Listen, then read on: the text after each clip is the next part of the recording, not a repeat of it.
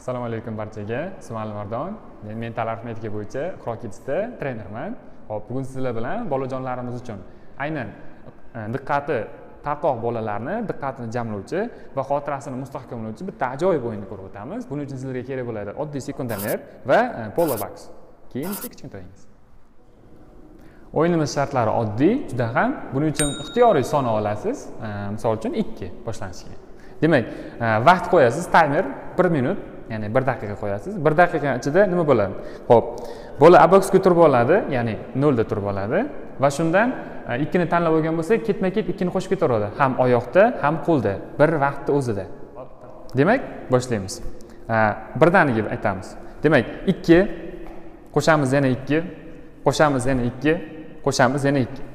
Bemalol javobni aytaversa ham bo'laveradi. Ya'ni bir vaqt o'zida ham e, tasavvurda ham oyoqda. Vaqtga qo'yib albatta.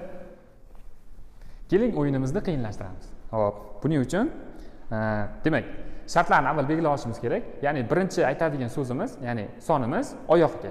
Ikkinchi aytadigan sonimiz esa tasavvurga bo'ladi.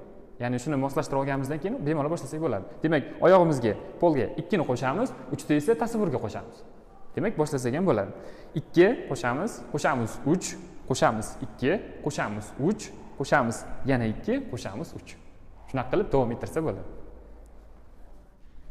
Berilgan vaqt tugagandan so'ng farzandingizdan yoki o'quvchingizdan oyoq va qo'ldagi hisoblarni e, bilib olasiz va uni yozib qo'yasiz. Va shu tariqa e, o'quvchingiz yoki bolangiz bilan e, ketma ketlikni oshirib borsangiz bo'ladi ya'ni qiyinlik darajasini. Yoki to'qqiz yetti sakkiz olti o'n besh o'n olti. Shu tariqa davom etadi.